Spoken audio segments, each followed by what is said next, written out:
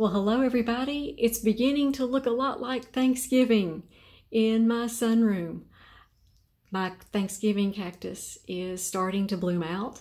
Actually, this one and the three other ones are starting to bloom. So I kind of wanted to just give you all a quick update on what this is looking like. Um, by the time this gets done blooming, it's going to be magnificent. But I thought I would just kind of give you a an overview of all of the buds on this one. This is just breathtaking to look at. The color of this is such a brilliant scarlet. Um, I've had several of you ask me what my Thanksgiving cacti are growing in, what type of soil. Um, I repotted them in just regular Miracle-Gro potting soil, not the ones for cacti, just the regular potting soil. Um, I'm using the fertilizer that I'm using on my orchids. Actually, what I do is when I drain my orchids, that's what I use to fertilize and water my Thanksgiving cacti. So that's why they look so beautiful. I also use Epsoma garden lime on these, especially when I see the new leaves starting to appear. I apply it, and then I applied it just a few days ago. So probably about two or three times a year, I'm adding, oh, about a half of a teaspoon of Epsoma garden lime. It keeps my plants pretty and green. Used to, they had a purplish tinge to them. I believe that was due to magnesium deficiency. And the new growths are very, very strong as well. And of course, that's due to a lot of calcium that I'm feeding them. So that's my update on what I'm doing with them and the type of soil that they're growing in. And here's a close-up of my other red Thanksgiving cactus. This is a different type. The leaves on this one are not as large as on the um, other one that I just showed you. And as you see, this one is growing actually pretty large itself. It's just a different kind. It's a different red. This is a true Christmas red. And it, right in here, it looks hot pink. It's very beautiful little bloom up close. So um, many of you have asked me, when do I cut these back? I cut these back in the spring before the segments, the new segments start growing.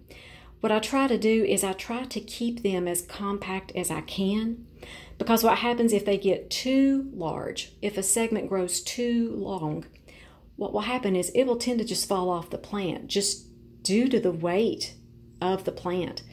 So if you're feeding them enough calcium, if they're getting enough magnesium, and they're still losing segments, it's probably just due to the weight of the branches because these are very heavy.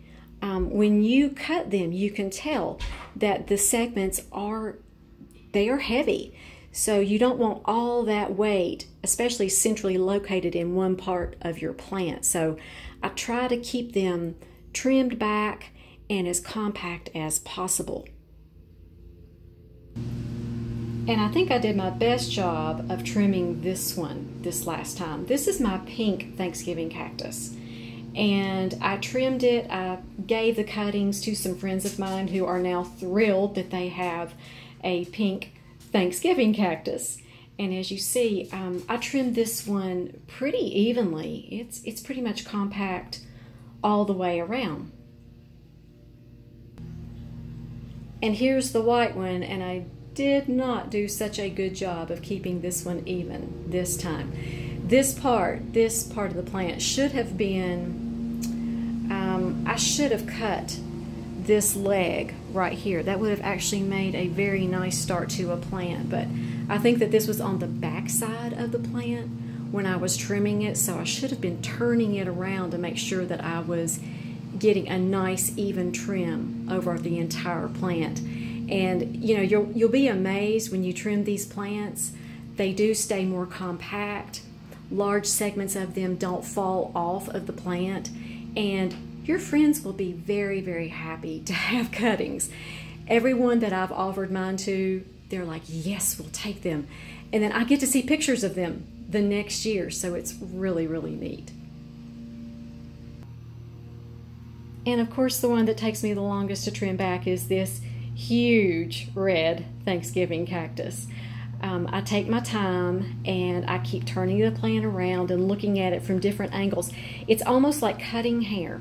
That's exactly what it's like. You just want to make sure that you keep it even and that there's no really, really long segments that are going to um, fall off or like if you let them grow too large, you're going to notice that they turn woody and heavy and that will cause them to fall off the plant.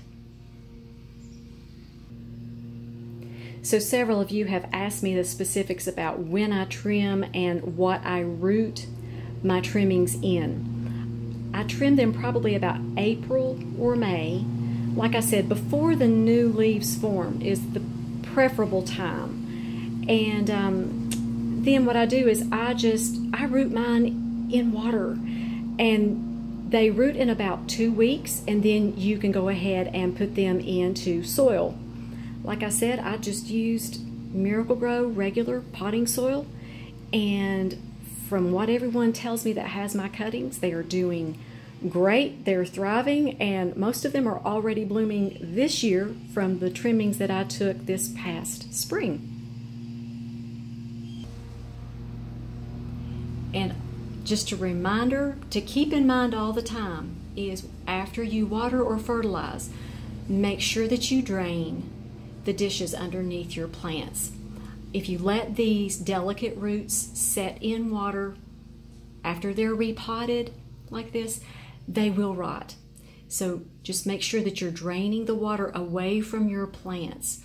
Or my sister lost one one year from it, and she was not very happy about that. So I try to keep reminding everyone drain the bottoms of your pots after you water your your holiday cacti. And of course, as they bloom out, I will be doing updates. If you all have any questions, just um, leave them in the comments section below. You all just have a highly favored, deeply loved, greatly blessed kind of a day. And we will talk to you all next time.